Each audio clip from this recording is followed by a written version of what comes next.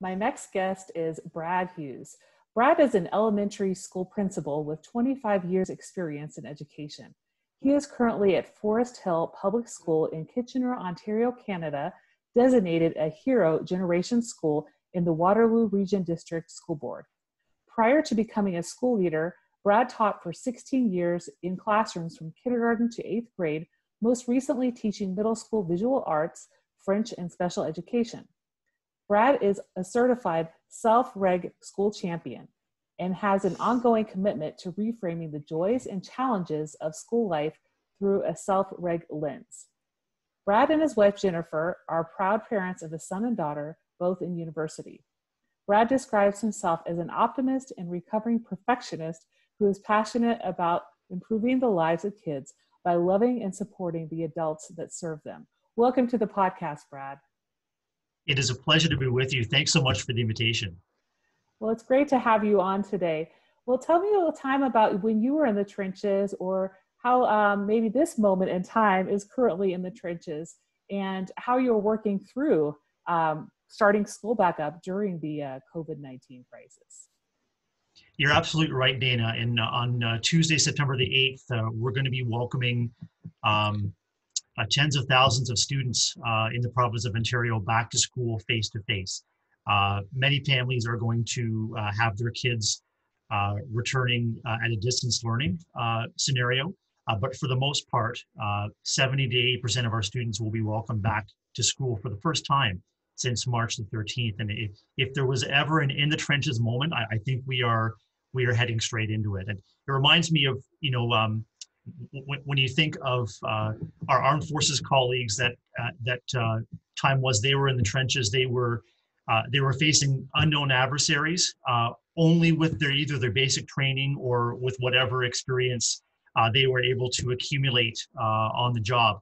And and our educators principals superintendents and school board leadership are all in the same position. We're, we're facing um, so much unknown uh, but we're drawing on our basic training and we're also drawing on uh, our relationship and our, our uh, empathetic skills so we can move forward. We're, we're not, we don't want to be in a position, although it's understandable, where our colleagues and parents feel that we are, we are pushing them out over the trench mm-hmm. um, while we remain back and, and see what happens and, and hope for the best, but plan for the worst.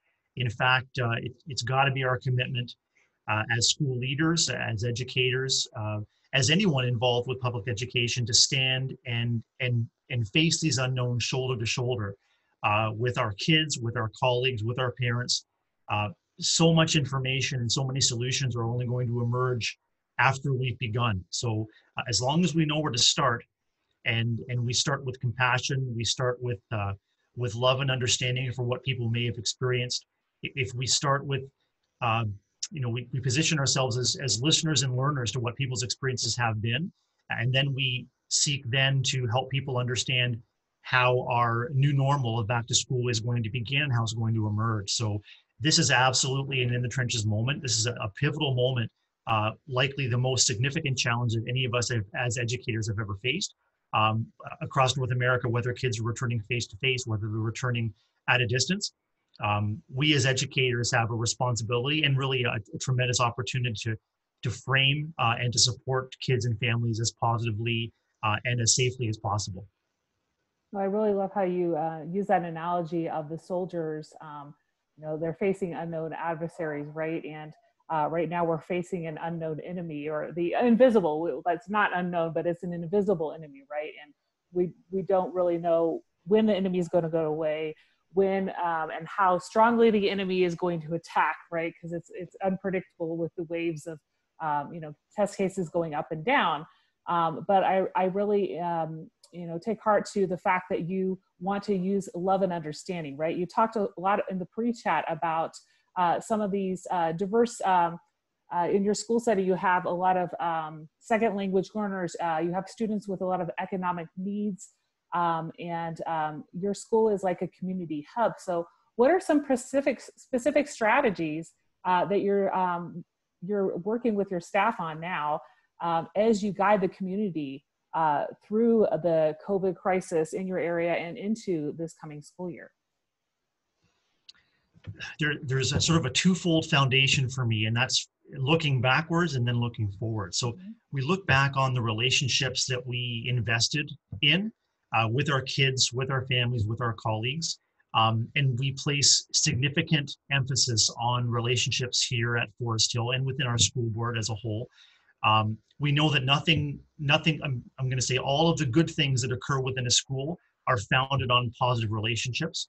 Uh, and when there is a, uh, a challenge that we need to work through, um, we draw on uh, the emotional bank account, we draw on the trust, and we draw on the positive experiences that we've had to weather us through challenging times. So, our, our number one concern right now is to uh, be committed to rekindling all of those relationships that served us so well in the past, knowing that people, kids, families, educators are all returning uh, to classrooms um, with with their alarms on here trigger. I mean, uh, for the past uh, almost six months, uh, we've been facing uh, health crises in our communities, in our homes, uh, in our long-term care centers, in our hospitals, um, and everyone is naturally, very understandably, very wary uh, and very on the lookout for uh, for danger and, and and sort of in self-preservation mode. So, in order to help people over that hump and to see that um, you know if we are to reestablish schools as places of safety as as they always were before uh, before the impact of COVID, uh, we have to rekindle those relationships. And and I'm really hopeful that uh, sort of the collective breath that all of us are holding as educators and as parents is going to be slowly released as we come back to face to face and say, yeah, we're going to work together. We're going to figure this out. Um, so you know, leveraging leveraging the relationships is is going to be key. The other key thing that is going to be our our our clarion, our rallying call for staff is that there's natural uh, there's natural um, apprehension on the part of educators and on the part of parents about learning loss and how is my kid ever going to catch up Mhm. uh, and what we want to strongly remind our uh, our educators and our families is that we're going to welcome each and every student back exactly where they are, recognizing that each of them has had a different COVID journey, for lack of a better word. Yeah. Um, we need to acknowledge and understand that all of us have experienced different layers of trauma, uh, depending on our, our personal experiences, on our community experiences. And we just need to focus on where we're at first, uh, finding out what we've experienced, what our needs are, uh, before we can move forward. And, and there, there's, there's no need, certainly at the outset, uh, for additional apprehension about catching anybody up to where we think they should be. All we need to do is start where we are. Uh, kids just want to know that their teachers and their friends are there for them. Parents want to know that their schools and teachers and principals are there for them. And once we, we've established that, uh, once we have our footing underneath us, and once we sort of grow into uh, new routines and and um, and new protocols, uh, then we can begin to address what each student needs in terms of his or her learning, exactly as we did before COVID. Yeah, and I, I really like how you know you frame that, and it's what we've been saying ever since March, uh, Maslow before Bloom, and um, showing empathy. Uh, we talked a lot in the pre-chat about uh, showing empathy and um, you know being positive as a school leader, but also be real, right? Because uh, we're not only um, facing the challenges or helping our students with the challenges, and they're coming back with those various traumas, but we're also um, supporting our staff as well um, that, that have been through a variety of things that may have lost loved ones. Um, so, uh, how can you help uh, your colleagues and your staff in uh, situations um, when they're feeling down and when they're feeling like they can't make it through the day? Um, how can you help them stay resilient um, through this time? And as you start school, I know we're kind of holding, like you said, we're holding this collective breath. And once you start, you know, we might get used to like the new normal but um, as you as you prepare for the school year and, and they, they they have challenges uh, on their own what what what can you do to help them stay resilient? Well, just to go back to your point, it, it uh, positive but real is, is key uh, because uh, all of us are sorting through information that is um, uh, that is changing and in many cases incomplete. yeah. Uh, and so y- you want to be positive, but you don't want to go so far on the other side of just saying everything is rosy, everything is going to be okay. Um, because after a while, um, everything's going to be okay. And don't like, I'm going to say, I've heard no one in the history of worrying has ever worried less by being told, don't worry. mm-hmm. or no one in the history of calming down has been has been has been calmed by saying just calm down yeah. you have to acknowledge what people's apprehensions and people's questions are um, and so you know the positivity but realness is as school for for me as a school leader and for my colleagues it's just acknowledging the tremendous importance of, of being vulnerable uh, mm-hmm. of sharing our own apprehensions um, leadership is not necessarily about um, the stiff upper lip uh, and um, uh, and reminding people to adhere to uh, policies, protocols, regulations. In fact, it, especially in times like this, um, it's about uh, vulnerability. It's about uh, letting people uh, see, feel, and hear your concerns, but but over but even more importantly it's it's leveraging the power of i know. Like in, in school leadership positions you're often looked to as the person with the answers. Mm-hmm. and often uh, depending on depending on how you approach leadership or how you approach support um, you put yourself in a position where you want to provide explanations or you want to provide okay here's what you do in fact you have to begin in these cases with the words i know you just have to hear people where they're at and and, mm-hmm. and really empathize um, you're concerned about physical distancing i know it's going to be a concern uh, you're, con- you're going to be you're, you're concerned about if or how kids are going to be successfully able to wear masks I know uh, it, it's it's it can be really tempting to jump in. I do this naturally in terms of personality type. Like I want to fix, uh, but what I've learned more and more is it's way more important to seek to understand what people are thinking and feeling, and to help them unpack the solutions along with them.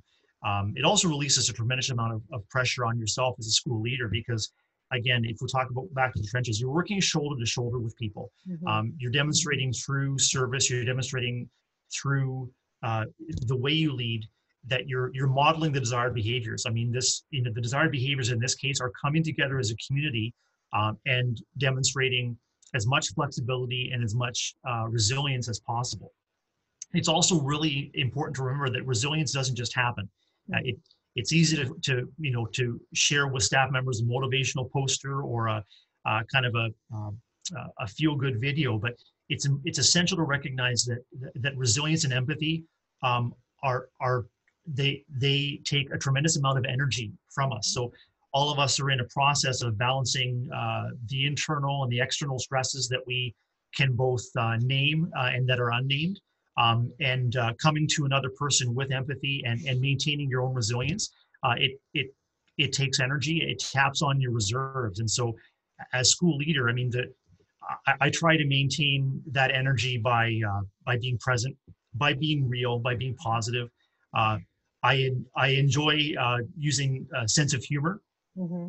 Uh, and uh, I just enjoy, um, you know, I, I, I truly love my staff members and I, I love my the, the kids. And uh, again, I just try to approach it with uh, that um, that spirit of love. I'm here for you um, first and foremost as as a human being, uh, as a colleague, as a friend, uh, and then you know the resilience can actually be restored if at least people know that others care uh, and that they care about them managing their energy. At this time, I'm encouraging all of my staff members, you know, in addition to the apprehension about returning to school, this is the time, you know, um, during the summer, we have a gift of time that we really need to invest in ourselves, invest in our families, invest in the things that, that bring us joy and comfort, uh, because we need to return to school as restored as possible so we can face the challenges ahead.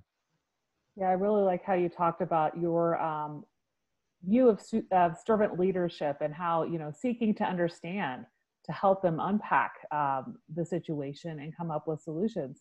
Um, not necessarily just going for the solution right away like you would have in the past right? Mm-hmm. um, because in this situation you can't necessarily fix things right?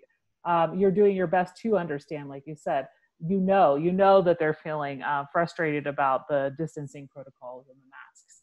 But um, i'll tell you dana was going to say, speaking for myself, I find I find service to others a real stress reducer. Mm-hmm. So if I start uh, ruminating, uh, worrying, uh, getting into kind of you know negative feedback loops, mm-hmm. it really helps me just to take a look around and say, okay, whose load can I lighten right now? Um, it, it, gets me up out of my office, and so it's it's uh, you know personal connections with kids, with students. Um, if it's a dumb dad joke I can tell to a kid who looks a little bit down, or if it's um, just a way to do something unexpected for uh, for a teacher to lighten his or her load. Mm-hmm. I find service gets me out of my own head, and, and it's a tremendous stress relief, stress reliever for myself. Uh, and I wonder how many of us, uh, if we reflect on that, find the same thing. It's it's really helpful for me. Mm-hmm. Now that's great to hear. Uh, let's shift a little bit and talk about uh, how you're helping uh, your stakeholders manage the information from the provincial Ministry of Education.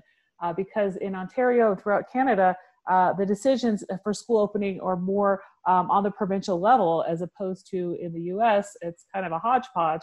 In the same metro area, we have schools doing all sorts of different things. So, um, kind yeah. of, you know. It, it, how, do, how does that work with, you know, if, if you're in a metro area in Ontario mm-hmm. uh, with a higher case rate uh, as opposed to maybe a rural area with the lower case rate, but then the province decides for the whole um, province, everybody's going back. So how do you how do you um, explain that to to the stakeholders and help them kind of um, you know voice like what they're feeling and and all that? It, it's definitely challenging because uh, all across the province and in different provinces uh, across Canada, um, you're right. It, it, it's uh, it's provincial decisions uh, that have local impact when the um, the uh, the amount of community infection, the amount of community spread is very different uh, mm-hmm. from a rural community, say in northern Ontario, to an urban community like uh, Toronto, uh, Peel Region, Mississauga, Chatham, or Windsor. Uh, here, where I work in Waterloo Region, we're very fortunate uh, that our community infection rate and our community spread rate is very low, and it um, it gives me confidence as a school leader to say, of course, we cannot guarantee safety uh, within uh, a global pandemic. All we can do is we can leverage uh, the, the, the public health uh, situation in our community mm-hmm. to our best advantage, knowing that we will make it as safe as possible uh, to prevent new infection uh, and to limit any spread if, if the worst was to happen. Mm-hmm. Um, in, in, other high density areas, like the city of Toronto, um, uh, it they are they are right now um, working through their local boards and, and boards of trustees to try to come to some um, some a situation where the, the risk continues to be mitigated. Uh, they're um, they're trying to reduce class sizes. They are working to hire additional staff members, and so as school principal, it's it's such a unique situation because you you want to always frame um, the efforts of, of public education positively, and you always want to seek to uh, enhance public confidence in what we have to provide in terms of public education and, and locally. Uh, and I'm, I'm, I'm hoping, I'm, I hope I'm speaking for all of my colleagues locally and across the province too. I, I am certain that everything that can be done at the local level is being done. Uh, and so when I have uh, families asking about safety, when I have colleagues asking about safety, um, I've been fortunate to be able to tune into um, uh, to our board meetings and, and hear trustees and, and, and hear their questions, um, examine the budgets, examine the, uh, the successes and, and the barriers. And so staying informed uh, and, and helping to help families sort of come to terms with the reality as it, as it exists today and to avoid speculating about what you don't yet know or, or couldn't ever begin to confirm that's a, that's a constant balancing act. So you know as school leaders we have a tremendous opportunity and responsibility to to really hold and reframe information. And again it, has got to be caring but real. Um, mm-hmm. uh, you want to hold and reframe it for your community in a way that helps to uh, instill confidence wherever possible and just is, is, real about the challenges as well. So um, here locally like i said i'm very pleased to say that uh, I, I, think we are in as safe a situation as we can. And I certainly wish uh, my principal and school board colleagues across the province and, and, and all over North America, all over the world really, uh, the very best as they reckon with uh, state, uh, district, and, and, and, local decisions that impact uh, how the schools run and how safe we can make it for kids. Because ultimately, our goal has to be to restore schools uh, as places of safety, the, the same as they were uh, before COVID. So places of physical safety, places of social, emotional safety. Um, that that is what gives me hope. That's that's the little that's that's the vision that I keep coming back to. If if I begin to doubt myself or, or doubt our ability to do this, uh, I, I come back to we're going to restore our schools as places of safety just like we were we're going to we're going to be there for our communities just like we were uh, and we're going to grow confidence through practice just like we did before covid yeah And you mentioned to me in the pre-chat a little bit about you're treating the return to school as a process as opposed to something that's etched in stone, right? Because I mean, things change all the time and, and we're all experiencing that. But um, I, I like how you're coming across with that positive attitude and, you know, we want to uh, be able to welcome our students in for that, um, you know, emotional well-being for, uh, you know, just the socialization and everything. And um, mm-hmm you did say that there is a psychological barrier with elementary school students, right? Uh, keeping the distances.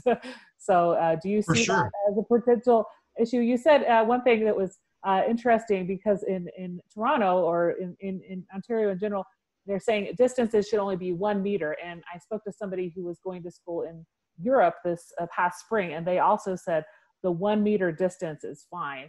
Um, in the US, they say like there's no there's nothing magic that happens between five and seven feet, you know, around two right. meters, but they all want to be around two meters as opposed to one meter. So, uh, do you think it's going to be a, a, big issue keeping the kids uh, the one meter apart? Yeah, so there, there's a couple things that come to mind. Is is up to this point in terms of, of public health management in Ontario, the the yardstick or the meter stick, uh, for lack of a better question, has been two meters. We've been we've been cautioned to keep two meters or around six feet of difference between others. And so one of the things that's dissonant with educators and families is okay. Up to this point, um, we need to keep ourselves safe by maintaining a two meter distance, and now it's it's okay for one meter. Um, so one of the things that we uh, that we're we're coming to that we are going to need to come to realize in terms of welcoming kids back to our school buildings is two meters is something that we always want to strive for where we can. So uh, kids passing in hallways, um, uh, kids outside on the yards, wherever we can maximize physical distancing of two meters or more, that's where we'll do it. If we cannot do that because of lack of space in the classroom or because naturally kids are going to want to they're going to want to reconnect with their friends. They're, they're going to want to hug and they're going to want to come together. And I, I think of our early learning classrooms, our, our, our, kindergarten classrooms, where where coming together for play is that that is the curriculum. I mean that that feeds kids' brains. It, feeds their hearts. And so, yeah, it, it's going to be challenging because, uh, especially if we return to schools um, with that uh, that sense of um, we need to enforce uh, physical distancing. Like um, we are going to have a real challenge on our hands because, you know, in terms of public health, as citizens, we've been told keep two meters away. Mm-hmm. As educators, we have to understand that kids and families are not going to necessarily return to school um, knowing or understanding how to do that, depending on their experiences during the pandemic. And, mm-hmm. and ultimately, schools are places of learning. Uh, they, they do have rules, they have expectations, they will have protocols, but we are not here to enforce a set of protocols with kids in a punitive way. We're we're here to help them learn how to be as safe as possible. Same with parents. I mean, uh, parents are going to want to naturally uh, congregate, wish their children well as they return to school. Uh, of course, we want them to maintain physical distance where possible. We want them to keep safe. We want to keep our school area safe as well. But um, if we approach our families with uh, with an, with an enforcement and and and um, and consequences model uh, uh, of a series of thou shalts, that that is going to do the opposite of what we need to do, which is to rekindle relationships. If the first exchange we have with a parent is reminding them to stay back and keep their distance, mm-hmm. they're going to take that away. They're going to remember that. If instead you you kind of lead with the heart and, and just let people know, I'm delighted to see you. I, it's wonderful. How are you?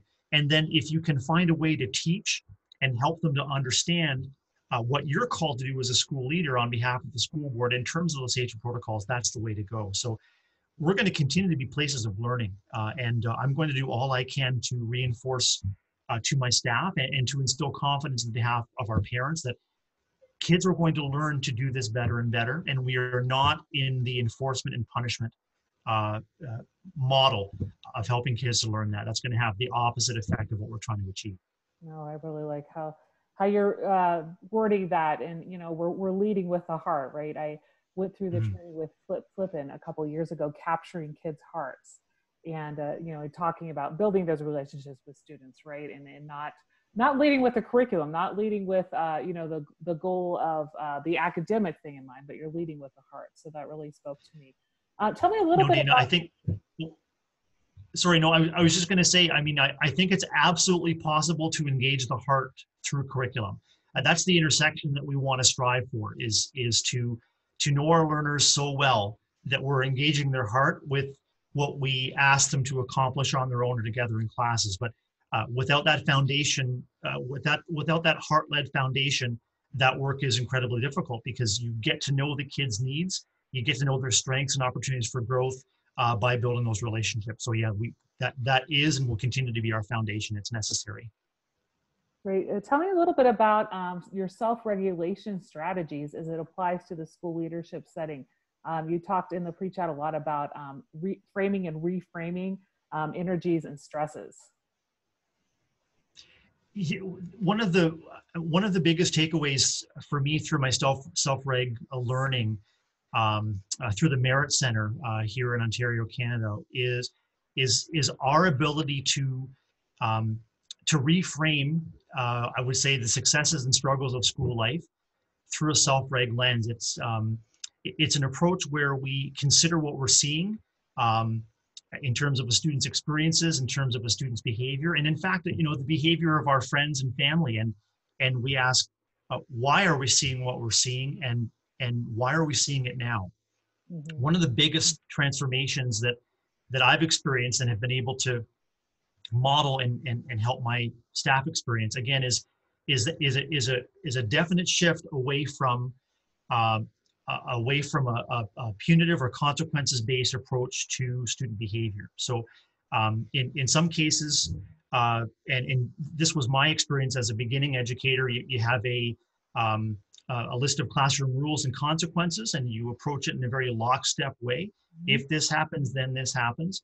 Um, what I'm learning more and more, and what I what I see just tremendous promise in is is seeking to understand what we might characterize as student misbehavior. Mm-hmm. If we characterize it and reframe it as stress behavior, um, students and all of us are experiencing just a wide number of stresses in our lives stresses from outside, stresses from within things that we can control, things that aren't within our control, uh, things that we can name, and things that go unnamed. And so, uh, you know, the one of the one of the reframing approaches in, in terms of self-reg, uh, which which leads to a situ- leads to situations where students have enough balance and enough support to to self-regulate, to, to regulate their own behavior, to regulate their own emotional and physical needs.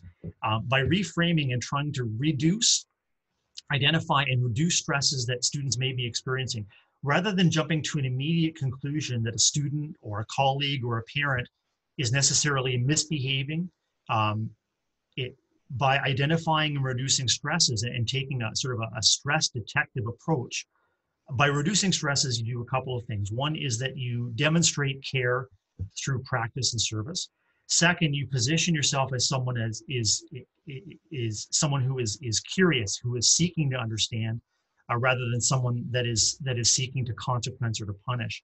And, and third, it, it puts us it puts us in a stance where um, we have the ability to to focus in more and more uh, on our students as individuals um, that operate within uh, a social structure, within a classroom, or within a, a cohort, or within a division, or within a school. So um, self-reg learning too has been really helpful in, in, terms of my own approach to, to managing my own emotions, um, in, in terms of recognizing the stresses that I experience and and reframing could it be, um, and approaching like all of my relationships with with all the stakeholders from you know from from kids who are at three uh, to their parents, grandparents, and caregivers. It's just a matter of seeking to understand what people are experiencing before you can bring them alongside to, to understand what you need them to to, uh, to know or to do. Yeah, I, I really um, resonate with that because I remember as well as a beginning educator having that set of rules and you know going over my expectations, right? And then I shifted it. Um, it was probably 13 years into teaching that I shifted having the students um, work with me on the um, code of conduct, as you will, right, mm-hmm. or the classroom contract, right, and um, you know having that shift uh, from punitive more to uh, collaborative right? Um, and i really like how you talk about um, you know you want to approach um, uh, anybody colleagues uh, stakeholders parents students with gentleness grace and patience right? Um, you know everybody has a time where where they're going to be stressed and um, you mentioned in the pre-chat it's human to lose your cool right? But you have to be able to forgive yourself and uh, restore any damaged relationships that may occur as a result of uh, being stressed out and not uh, be able to self self-regulate at the moment right but i think we're mm-hmm. always learning more uh, you know and taking the time to uh, attend trainings and uh, you know a lot of people have done that um, during the quarantine period they attend a lot of webinars and and you know maybe sometimes there are meditation webinars as well i've, I've gotten a lot of mm-hmm. emails about and people you know learning more about themselves and how they react i think that's key when you're when you're in this type of service profession right one uh, one key takeaway from self reg uh, is that it, it's called self like you you self reg you can't reg someone else yes. so it begins it begins with with yourself and recognizing that in order to to share calm that others may need mm-hmm. um, you have to find your own first and if you're not able to find it that's that's that's perfectly human that's perfectly understandable but mm-hmm. it, it, in order to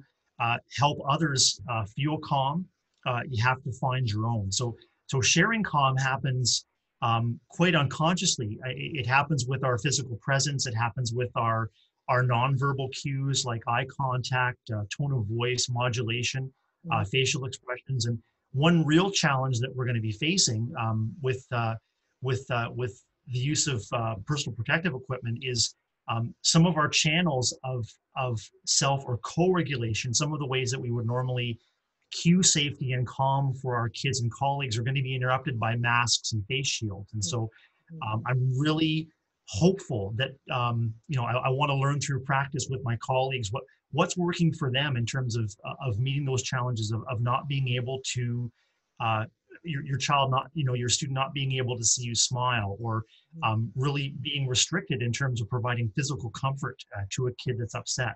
Um, i'm really curious to see how we're going to face those challenges. I know we will. Um, and again it's it's um, it, these are some of the answers that are only going to emerge through practice but as long as we maintain hope that we'll find them and it, it, just like you said uh, earlier in the discussion, the return to school is not going to be a one and done event. It's going to be something that unfolds. And mm-hmm. and and typically we measure progress day to day. We we might need to learn to measure progress hour to hour or even minute to minute. Mm-hmm. And so if we, you know, our, our school's open Tuesday, the 8th of September. If we take a look back on the following Tuesday, and then on the last Tuesday of that month, and then the last Tuesday of the following month, we're going to see growth. We're going to see progress.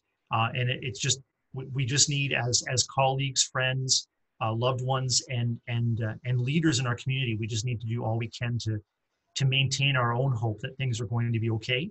And also to know that if things turn out not to be okay uh, there are caring people that are going to know how to respond. Yeah no, i like how you frame that. And uh, you know working with um, what we learn along the way right? Um, maybe debriefing as you say the week after or two weeks after the month after and and and seeing what we've learned, what what what's positive that we can take away, and maybe something that uh, didn't go so well, and that how we can change that. So that's it's constantly evolving, as you say. Uh, well, I really enjoyed this discussion today. Out, out of everything we discussed on the podcast, what's one thing in particular you'd like listeners to remember? Um, wow, I mean, so much great conversation, and thank you again for inviting me to join you. Uh, I guess what I will say is that you know if we come back to the beginning of our podcast, this this is this is a um, an incredible in the trenches moment that all of us are, are either beginning to wade into, uh, depending on where you teach and learn, uh, or are about to wade into. So, you know, my you know what I hope folks listening take away is that um, all of us are are creating the best possible conditions that we can on an ongoing basis. Mm-hmm. Uh, all of us have a responsibility to meet others where they are uh, and to rekindle and leverage the relationships that you've already established or that will need to be reestablished mm-hmm. uh, when we come back to school. Um, and finally, I mean, on one hand, uh, not to lose hope, or if you are if you feel you're losing hope, reach out to others who can help restore it. Mm-hmm. And, and, also, as you said, give yourself patience and grace uh, so that you can recognize there are going to be setbacks, and, and some of the setbacks may be significant. And some of the setbacks may be unexpected, and some of the setbacks may, in fact, be traumatic. Uh, we just don't know yet. But Mhm. uh, what we do know is that if we maintain focused on restoring schools as as places of safety, uh, just like they were uh, before the impact of COVID, um, and do all we can to leverage our community health uh, and public health advice and, and the advice of our school boards and uh, and uh, um, support of our colleagues. Uh, that again, I'm hoping that collective apprehensive breath is going to be released as we just see the eyes of kids sparkling when they come back to school, as we see the relief in parents leaving kids in our care, as we hear back from parents that, yeah, we think that we think that things are going to be okay. Um, that's my message of hope to everybody listening. Great. Where can people find you online? Um, I'm on Twitter at uh, Brad B R A D underscore Hughes H U G H E S. Uh, all my bio and, and uh, school contact information is there. I'd, I'd be delighted to connect with any listeners or viewers by Twitter. I, I've learned so much uh, through my Twitter uh, personal learning network and, and really enjoy the opportunity to come together with you for this uh, for this podcast. Uh, and we welcome the chance to, to connect with anybody uh, with whom uh, our discussion resonates. Well, thank you so much. It was great chatting with you today. It's been my pleasure. Thank you so much.